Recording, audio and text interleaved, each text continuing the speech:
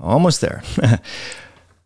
It's taking a little bit longer today. And we're live. Welcome back to another live session. We're going to talk about the rapid increase in early onset cancers in people in their 30s and 40s and highlight commonly overlooked clinical signs and symptoms that actually exacerbate or worsen the prevalence and the early diagnosis of cancer. We're going to focus on metabolic health. And unfortunately, that's not being discussed in the lay press coverage of these recently published clinical studies that are finding a surge in cancer in young people between the ages of 30 and 40, known as early early onset cancers. Now, I want to share with you just a few of these different articles. We're going to talk about one from the uh, Journal of the American Medical Association, another from the British Medical Journal, and then talk about the lay press coverage because I thought it was really interesting. There was an article here uh, in CNN. And the scientists say that, or the, the sorry, the journalists say that cancer is rising in people under 50, but the cases are a mystery.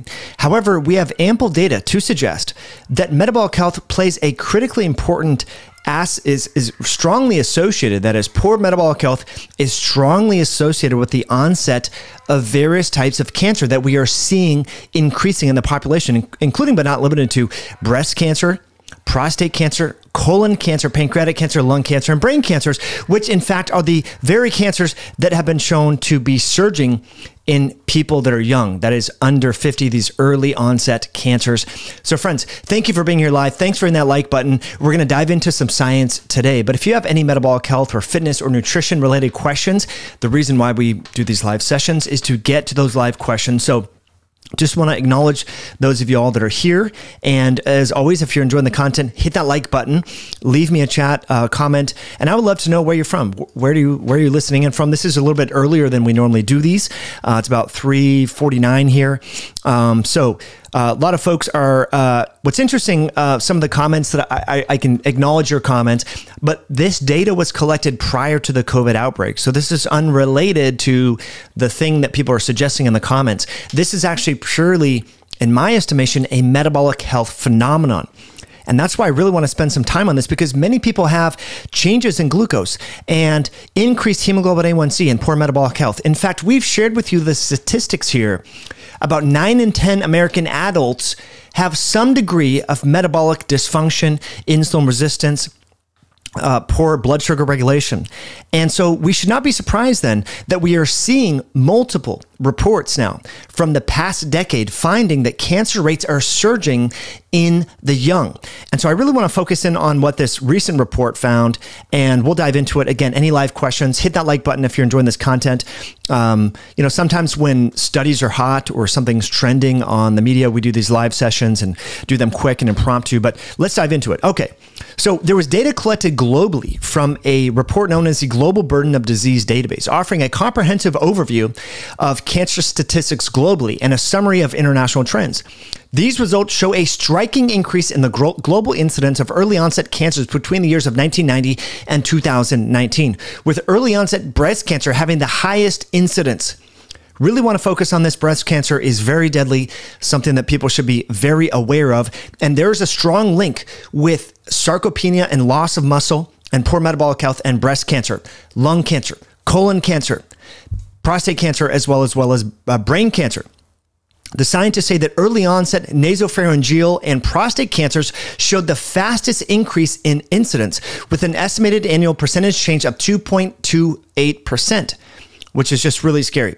So, the four cancer groups with the highest death and disability adjusted life years burden in younger adults in 2019 were breast, tracheal bronchial lung cancer, colorectal, and stomach cancers. So, really important to acknowledge the colon is highly responsive to a low carb ketogenic style diet. Colon cancer specifically, we know that these cell types within the, the, the cancerogenic cell types, these neoplastic cells, are characterized by the Warburg effect. This is something we've talked a lot about in various videos. Otto Warburg characterized this phenomenon. He ascribed what happens where cancerous cells, they start to ferment glucose and they behave differently than other cells. And so restricting carbohydrate intake in these different cancer subtypes might be helpful. Now, here's where this article gets quite interesting. Again, we're talking about this British Medical Journal uh, review of the the actual uh, global uh, burden disease uh, database. Now, risk factors identified for early onset cancers include dietary factors, alcohol consumption, tobacco use, physical inactivity, and excessive body fatness. I'm not making this up. These are what the scientists actually say, which have all been associated with cancer in older patients as well. Increasingly, a high fasting plasma glucose was identified as a risk factor for early onset cancers.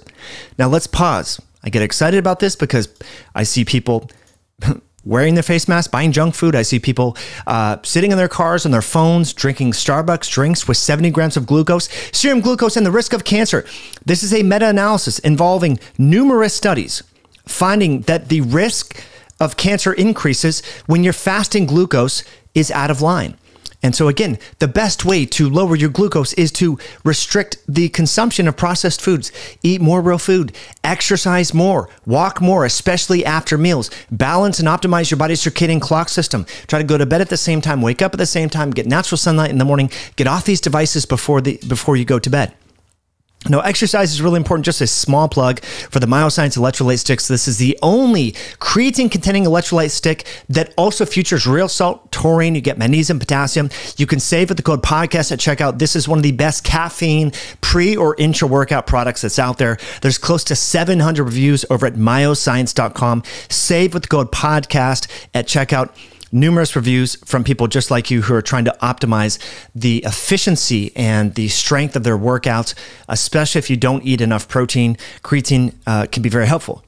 Now, what's interesting about this study is uh, there are other reasons why people develop cancer outside of metabolic derangements. In fact, um, other lifestyle factors contributing to uh, gut microbiome imbalances such as antibiotic resistance and usage uh, and outdoor air pollution and early life exposures to sorry to prenatal uh, and perinatal uh, malnutrition are critical factors. And the scientists say it is critical that we better understand the reasons why there's increases in early onset cancers so that we can better inform prevention strategies. Okay, so again, cancer, we don't wish cancer on anyone. This is a very deadly disease. Uh, the mainstream treatments are ridden with side effects and complications. And so we want to get out in front and prevent this. So, what can we do, my friends? Well, it turns out that optimizing metabolic health is a great place to start. Numerous studies now show this that insulin resistance, prediabetes, obesity, inactivity, are, are, are, intimately connected with the prevalence of an onset of early onset cancers. This study right here, titled Diabetes uh, Glycated or Glycosylated Hemoglobin and the Risk of Cancer in the UK Biobank Study. In the conclusions, the scientists say these results suggest that both diabetes and or elevated hemoglobin A1C are associated with risk of cancer at several anatomical sites.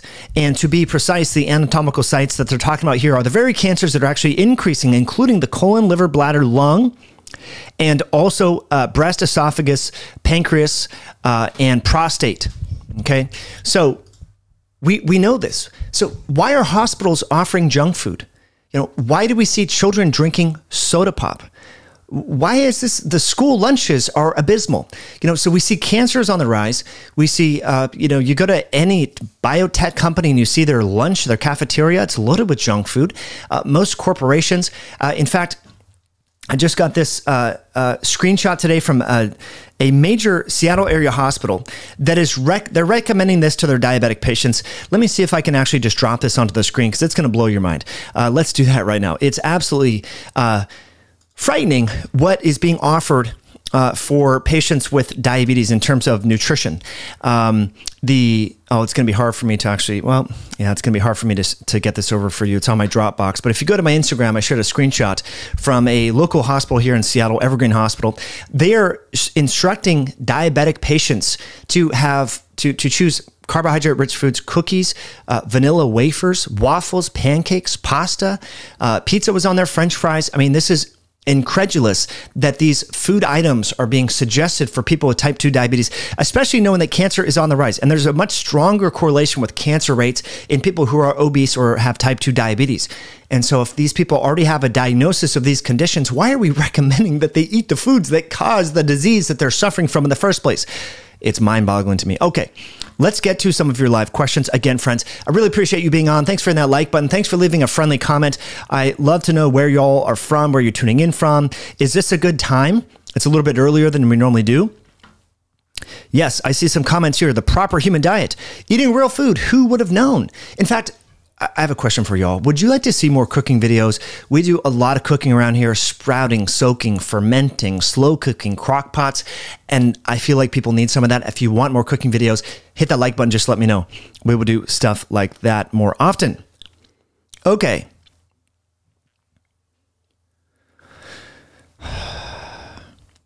All right. Just eat animal products, fatty meals. Yes, I am with you. Seek Jesus. Thank you for that. Okay, Kyle O'Neill has a serious comment. Thank you, Kyle, and thank you for thank all of you for leaving uh, comments. Uh, Kyle says, "Hey, Mike, what do you consider the ideal sodium intake per day for adults? Uh, LMNT electrolyte suggests four to six grams. You know, it really depends. Uh, Gatorade offers a test. You know, Gatorade, the, the, crap that, that people actually give to their kids and so forth. They they offer a test. There are high sodium excretors and low sodium excretors. I think it's good to just uh, test this out and see. I would tinker with this on exercise days, on sauna days. You know, you can have two to four grams." per day. Um, we've interviewed Dr. James DiNicolantonio three times on this podcast. Uh, just type his name into YouTube. You can check out his book, The Salt Fix. We've dove into sodium uh, and salt extensively, so check that out if you are uh, interested. Uh, Jason says, and, and by the way, Kyle, because you mentioned a company that sells electrolytes. Uh, the company that you mentioned is offering um, USP sodium, probably made by an artificial salt brine. What makes the Myoxcience Electrolyte 6 different is we use Redmond real salt along with creatine and taurine. You're getting so much more mileage compared to that popular brand of electrolytes that you mentioned. So uh, you can save with the code podcast. A lot of great feedback on that.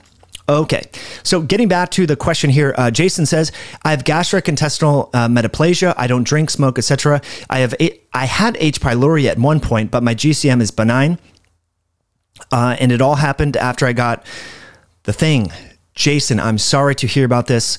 Uh, really keep us posted uh, on these lives and comments. Um, we'll be praying. We'll be thinking about you. Um, thank you for your comment and being here. And um, hopefully, you know, continue to make healthy choices and and uh, um, improve your health. Okay, more food videos. People are saying they want food videos. Cool. All right. Well, we can we can absolutely do that. Okay. Ban everything uh, says I'm from Louisiana. Very angry. Please don't ban me. Why would we ban you? uh, interesting uh, YouTube uh, name there. Uh, okay. All right. So a, a real question here from Talon52 says, do you think this is nefarious actors in the background regarding this? Even my food pyramid is broke. You know, I think honestly, it that could be. I think there's so much corporate greed and influence.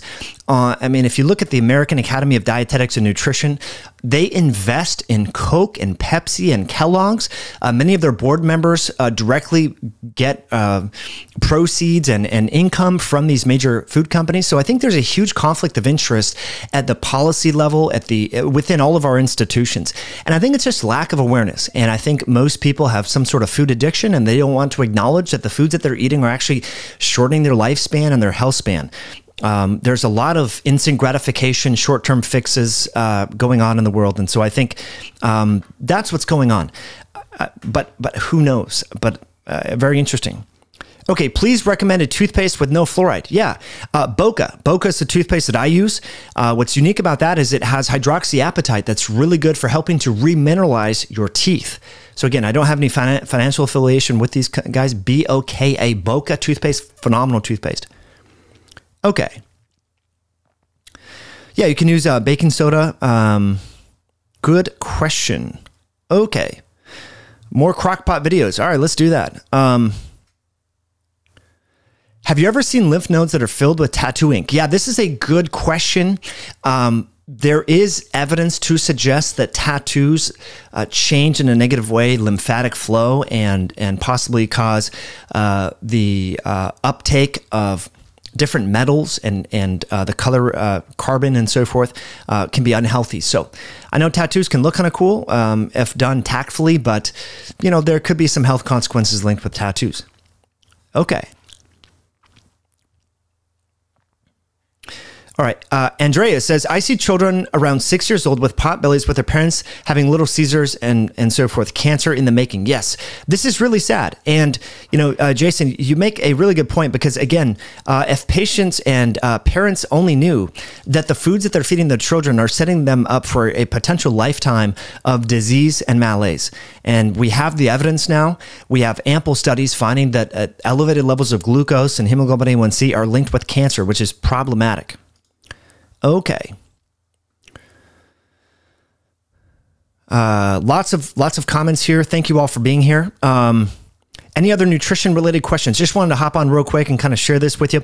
Uh, let's talk about alcohol consumption. You know, alcohol is uh, controversial. You know, some people say alcohol is healthy, some red wine is healthy. I haven't had a drink of alcohol since February 25th of 2023, and um, it's been phenomenal for my sleep. I used to have kind of baggy uh, eyes and be tired in the morning, and, and I think going alcohol free is a phenomenal way to support your health. So I'm all about giving up on alcohol. Now, it did take a while getting out of that habit. Sometimes I'll have a kombucha in re- to replace my alcohol uh, habit when I would normally crave it, having some of that carbonation. So I think that's something to consider. But yeah, uh, ditching alcohol. And again, um, this study and this study right here from JAMA, patterns in the incidence and prevalence of cancer uh, in people under the age of 50, uh, both show that alcohol consumption is linked with cancer. So why would you want, you know, a uh, you know, a 10 to 120 minute buzz and then have to deal with a lifetime of cancer? Not a good, not a good thing. Um, so, friends, that's all I have for you today. Thank you as always for tuning in. Appreciate you sharing this video. Thanks for leaving a comment if you found this helpful. Uh, the two studies that we were talking about today, one was published in JAMA, the other one here in the British Medical Journal, uh, Oncology, BMJ Oncology. Uh, and then we also talked about this one right here, BM, BMJ Cancer, Serum Glucose and the Risk of Cancer, as well as this one here. This was a review uh, uh, paper published in Cancer Epidemiology, Biomarkers and Prevention. And so this was published in a, another uh, highly high impact peer reviewed academic academic journal. So, uh, super grateful that you tuned in live for this short-ish video. If you have any further comments, let me know in the comment section below. We'll catch you on a future one next week. Have an awesome rest of your day, afternoon, or morning, wherever, wherever you are in the world. And um, look forward to more cooking videos in the